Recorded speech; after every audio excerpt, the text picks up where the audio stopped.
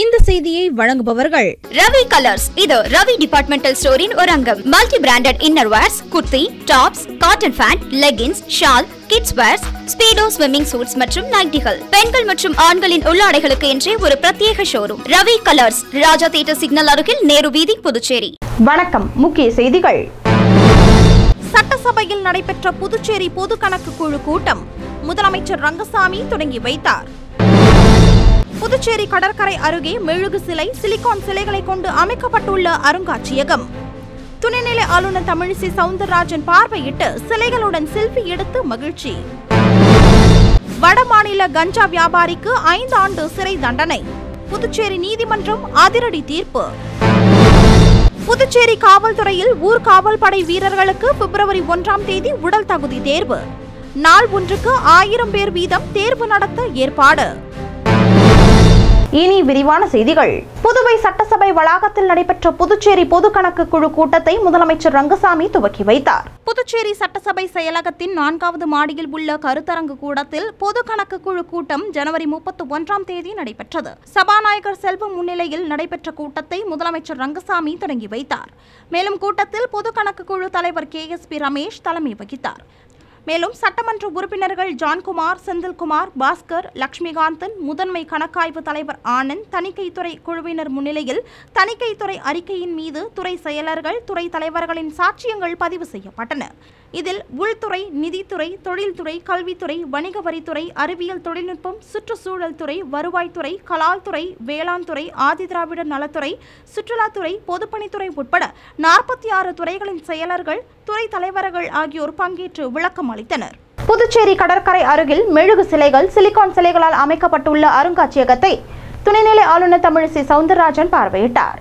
ஓவியங்கள் மூலம் உலக அளவில் பெயர் பெற்றவர் A P Sridharan. கைவண்ணத்தில் vintage camera click art three D ஓவியம் மெழுகு சிலை உள்ளிட்ட பல அதிசயங்களை அவர் உருவாக்கியுள்ளார். தற்போது இவரது புதிய படைப்பாக புதுச்சேரியின் பாரம்பரியமிக்க ஒயிட் டவுனில் ஒண்டர்ஸ் ஆஃப் ஒயிட் டவுன் என்ற மியூசியத்தை திறந்துள்ளார். புதுச்சேரி கடற்கரை மற்றும் பாரதி பூங்காவுக்கு அருகே திறக்கப்பட்டுள்ள வண்டர்ஸ் ஆஃப் ஒயிட் டவுன் எனும் அருங்காட்சியகத்தில் உலகின் எல்லா நாடுகளில் உள்ள பொம்மைகள் பிரபல நட்சத்திரங்களின் மெழுகு சிலைகள் சிலிகான் சிலைகள் ஆகியவை இடம்பெற்றுள்ளன. கண்கவர் வகையில் அமைக்கப்பட்டுள்ள இந்த அருங்காட்சியகத்தை துணைநிலை ஆளுநர் தமிழிசை சவுந்தரராஜன் ஜனவரி முப்பத்தி ஒன்றாம் தேதி நேரில் பார்வையிட்டு வாழ்த்து தெரிவித்தார். மேலும் ஏபிஜே அப்துல் கலாம் அரவிந்தர் அன்னை எம் எஸ் தோனி சாய்பாபா அன்னை Teresa Amitabh Bachchan Jackie Chan Michael Jackson Charlie Chaplin Arnold உலகின் மிக உயரமான மனிதர் உலகின் மிக குட்டையான மனிதர் போன்ற பிரபலங்களின் சிலை அருகே துணைநிலை ஆளுநர் தமிழிசை சவுந்தரராஜன் நின்று செல்ஃபி எடுத்து மகிழ்ந்தார். வடமாநில கஞ்சா வியாபாரிக்கு ஐந்து ஆண்டு சிறை தண்டனை விதித்து புதுச்சேரி நீதிமன்றம் தீர்ப்பு வழங்கியுள்ளது. புதுச்சேரி சேதராப்பட்டு ஏரிக்கரை அருகில் இரண்டாயிரத்தி இருபத்தி இரண்டாம் ஆண்டு மார்ச் மாதம் சேதராப்பட்டு காவல்துறை துணை ஆய்வாளர் முருகன் ரோந்து பணியில் ஈடுபட்டிருந்தார். அப்போது ஒடிசா மாநிலத்தை சேர்ந்த சோம்நாத் குண்டு கஞ்சா விற்று கொண்டிருந்தார். அவரை பிடித்து அவரிடம் இருந்து இருநூறு கிராம் கஞ்சா பொட்டலங்களை கைப்பற்றி அவரை கைது செய்தனர். மேலும் விசாரணையில் இரண்டு கிலோ கஞ்சாவினை திருச்சிற்றம்பலத்தில் உள்ள அவரது வீட்டில் மறைத்து வைத்திருப்பதும் தெரியவந்தது. அதனையும் காவல்துறையினர் பறிமுதல் செய்தனர். இது தொடர்பான வழக்கு புதுச்சேரி நகரத்தில் நடைபெற்று வந்தது.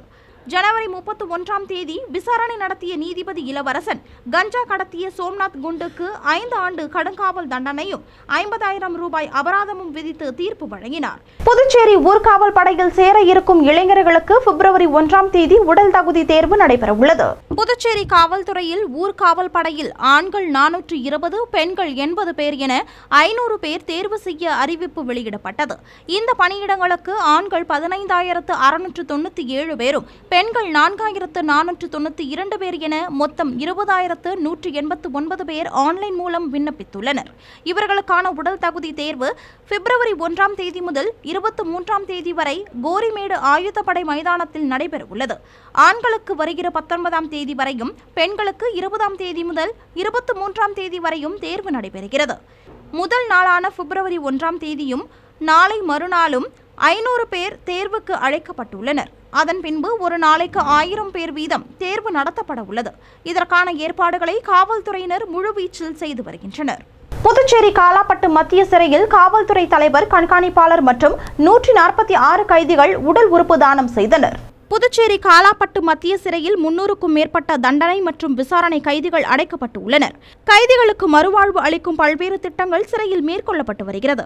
கைதிகள் மூலம் தோட்டம் அமைப்பு விவசாயம் கால்நடை வளர்ப்பு எஃப்எம் உடற்பயிற்சி கூடம் யோகா நடனம் உள்ளிட்டவை மேற்கொள்ளப்பட்டு வருகிறது. அதன் ஒரு பகுதியாக சிறையில் உள்ள கைதிகள் இறக்கும் போது தங்களின் உடல் உறுப்புகளை தானம் வழங்க முன்வந்தனர். இதற்கான ஏற்பாடுகளை சிறைத்துறை மேற்கொண்டது.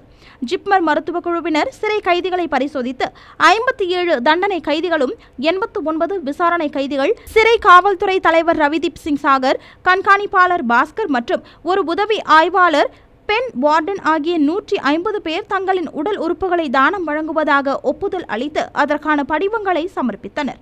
உடல் உறுப்பு தானம் வழங்கி கைதிகளுக்கு தானம் வழங்குவதற்கான அடையாள அட்டை ஜிப்மர் மூலம் வழங்கப்பட்டது.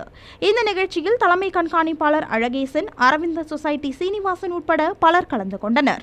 புதுச்சேரி மின்துறை சார்பில் நடைபெற்ற பொதுமக்கள் குறைதீர்வு கூட்டத்தில் கலந்து கொண்ட புதுச்சேரி மாநில நுகர்வோர் கூட்டமைப்பின் தலைவர் பாலா மின்துறை குறித்து பல்வேறு கோரிக்கைகளை வலியுறுத்தினார். புதுவை மாநில மாணவர் மற்றும் பெற்றோர் நலசங்கம் மற்றும் புதுச்சேரி மாநில நுகர்வோர் கூட்டமைப்பின் தலைவர் பாலா வெளியிட்டுள்ள செய்திக்குறிப்பில் புதுச்சேரி மின்துறை சார்பில் வெங்கடாநகர் முத்தியால்பேட்டை சாரம் உள்ளிட்ட பகுதிகளுக்கு பொதுமக்கள் குறைதீர்வு கூட்டம் தனியார் மண்டபத்தில் நடைபெற்றது என்றும் அதில் செயற்பொறியாளர் நகர் பகுதி கனியமுதன் உதவி பொறியாளர் நகர துணைப்பிரிவு இரண்டு திலகராஜ் மற்றும் இளநிலை பொறியாளர்கள் கலந்து கொண்டனர். மேலும் இந்த கூட்டத்தில் உருளையன்பேட்டை சட்டமன்ற உறுப்பினர் நேரு மேற்குறிப்பிட்ட பகுதியை சேர்ந்த பொதுமக்கள் மற்றும் தானும் கலந்து கொண்டதாகவும் குறிப்பிட்டுள்ளார்.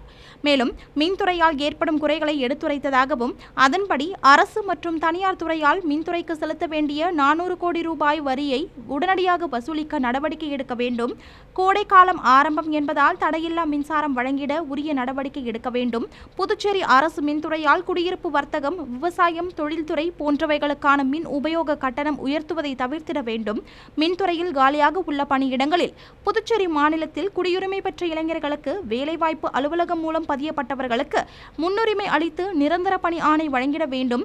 ஸ்மார்ட் மீட்டர் ப்ரீபெய்ட் மீட்டர் ஆகிய இரு திட்டங்களையும் புதுவை அரசு மின்துறை கைவிட வேண்டும் உள்ளிட்ட கோரிக்கைகளை பொதுமக்கள் சார்பாக நடைபெற்ற நுகர்வோர் குறைதீர்வு கூட்டத்தில் முன்வைத்ததாக புதுவை மாநில மாணவர் மற்றும் பெற்றோர் நலசங்கம் மற்றும் புதுவை மாநில நுகர்வோர் கூட்டமைப்பின் தலைவர் பாலா வெளியிட்டுள்ள செய்திக்குறிப்பில் கூறப்பட்டுள்ளது.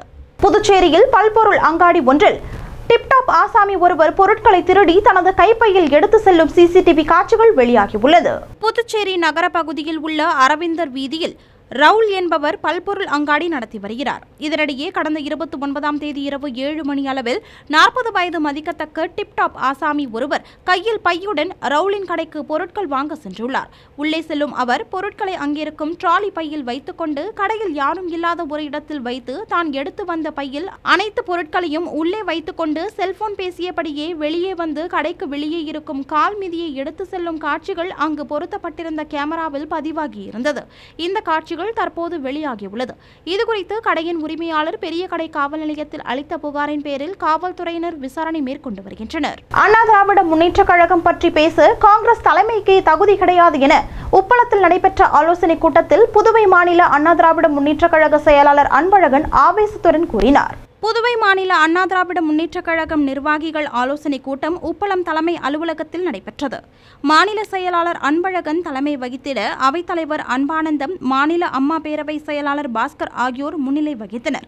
அப்போது கூட்டத்தில் பேசிய அண்ணா திராவிட முன்னேற்றக் கழக மாநில செயலாளர் அன்பழகன் காங்கிரஸ் தலைவர் வைத்தியலிங்கம் அண்ணா திராவிட முன்னேற்றக் கழகத்தை பற்றி பேசியது கண்டிக்கத்தக்கது என்றும் அண்ணா திராவிட முன்னேற்றக் கழக தலைமை வேட்பாளர் யார் என அறிவிக்கும் முன்பாகவே தோல்வி பயத்தில் வைத்தியலிங்கம் உண்மைக்கு புறம்பாக பேசியுள்ளார் என குறிப்பிட்டவர் காங்கிரஸ் கட்சியை தீண்டத்தகாத கட்சியாக திராவிட முன்னேற்ற கழகத்தினர் விமர்சித்து வருகின்றனர். செல்வாக்கை இழந்த காங்கிரஸ் அரசியல் செய்வது கிடையாது என்றும் கூறினார். மேலும் சீட்டுக்காக அறிவாலயத்தில் கையேந்தி நிற்கின்றனர் என தமிழக அமைச்சர் பேசியுள்ளார். இதை கண்டிக்க காங்கிரஸ் தலைவர் முன்வராதது ஏன்? முன்னாள் முதலமைச்சர் நாராயணசாமியை வசைபாடிய திராவிட முன்னேற்ற கழகத்தினரை கண்டிக்காதது ஏன் என அண்ணா திராவிட முன்னேற்ற கழகத்தை பற்றி பேச காங்கிரஸ் கட்சியின் தலைமைக்கு தகுதி கிடையாது எனவும் அவர் குறிப்பிட்டார். மேலும் காங்கிரஸ் தலைவர் வைத்தியலிங்கம் அண்ணா திராவிட முன்னேற்றக் கழகத்தை பற்றி பேச எந்த அடிப்படை உரிமையும் இல்லாதவர் என குறிப்பிட்டவர். வரும் பாராளுமன்ற தேர்தலில் புதுச்சேரியில் அண்ணா திராவிட முன்னேற்றக் கழகம் நிச்சயம் போட்டியிடும் என்றும் கட்சியின் பொதுச் செயலாளரால் அறிவிக்கப்படும் வேட்பாளர் புதுச்சேரி பாராளுமன்ற தொகுதியில் அதிக வாக்குகளை பெற்று மாபெரும் வெற்றி பெறுவார் என்றும் குறிப்பிட்டவர். இந்த நாடாளுமன்ற தேர்தலில் புதுச்சேரி உட்பட நாற்பது நாடாளுமன்ற தொகுதிகளிலும் முரண்பாடான கொள்கைகள் கொண்ட திராவிட முன்னேற்றக் கழக காங்கிரஸ் கூட்டணி படுதோல்வி அடையும் என்றும் அவர் தெரிவித்தார். அடுத்து வருவது புதுச்சேரியின் இன்றைய பெட்ரோல் மற்றும் டீசல் விலை நிலவரம். சர்வதேச சந்தையில் கச்சா எண்ணெயின் விலை நிர்ணயத்திற்கு ஏற்ப நாள்தோறும் பெட்ரோல் மற்றும் டீசல் விலை மாற்றி அமைக்கப்பட்டு விற்பனையாகி வருகின்றது. அதன்படி புதுச்சேரியில் ஒரு லிட்டர் பெட்ரோல் தொண்ணூற்றி ஆறு ரூபாய் பதினாறு காசுகளுக்கும் டீசல் ஒரு லிட்டர் எண்பத்தி ஆறு ரூபாய் முப்பத்தி மூன்று காசுகளுக்கும் விற்பனை செய்யப்பட்டு வருகிறது. இனி வருவது புதுச்சேரியின் இன்றைய தங்கம் மற்றும் வெள்ளி விலை நிலவரம். இன்றைய தங்கம் வெள்ளி விலை விவரம். புதுவையில் இன்றைய தங்கம் வெள்ளி விலை விவரம்.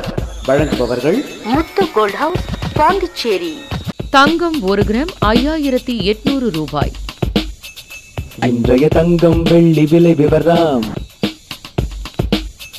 வெள்ளி பத்து கிராம் எழுநூத்தி எழுபது ரூபாய் இத்துடன் ஏஎம்என் செய்திகள் நிறைவடைந்தன வணக்கம் top quality service by global number one brand Samsung. Only at Samsung Smart Plaza, largest single brand store in Pondicherry. Number 104 Anna Salai, Pondicherry. Puducherry உங்கள் ஏஎம்என் டிவி செய்திகளை யூடியூபில் உடனுக்குடன் காண ஏஎம்என் டிவி பாண்டிச்சேரி சேனலை சப்ஸ்கிரைப் செய்யுங்கள். பெல் பட்டனை மறக்காமல் கிளிக் செய்யுங்கள்.